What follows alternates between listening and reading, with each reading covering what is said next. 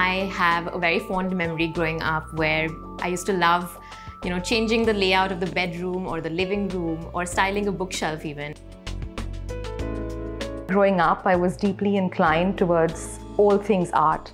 Uh, music and theatre were a big part of my formative years. At Quirk Studio, our philosophy and process truly lies in our ethos. For us, it's very important to draw inspiration from the inherent architecture, what the building is, what the space, the story that it kind of gives out. We've always aimed and striven to uh, create spaces that inspire, to create people-centric spaces. So it's important for us to learn and know more about our clients, uh, on their personalities, what they like, what they don't like. Some of our recent work, I think, that really stands out. Um, I think apartment 303 that we built for a young family, uh, really modern, very contemporary, fun in so many ways. We also have uh, Garden 6, truly timeless, very classic, very our style in so many ways. We would say house number 12, which is a beautiful contemporary home that we designed for a young family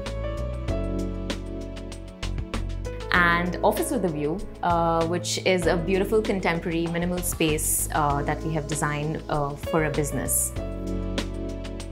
We focus on creating timeless and classic spaces. We want our spaces to tell a story, to reflect the client's personality, and most importantly, transport you into another world.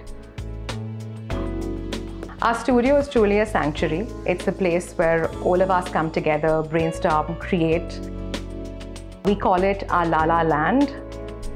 What we've, however, done is layered the space very interestingly. So whether it's through our furniture, whether it's the rugs, the lights that you see across, one of our favorite parts, the little garden that we have right outside, I think that really was the one factor that attracted us to getting this space.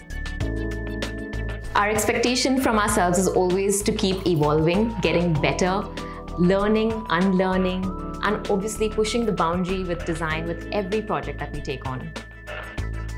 While passion is truly a driving force for what we do every single day of our lives, I think being validated on such a prestigious platform such as Forbes and being on the list of the top 30 under 45 architects and interior designers is truly, truly validating and truly motivates us to want to do better, to push the boundaries much more, to create more unique and interesting work and sort of just take on the world.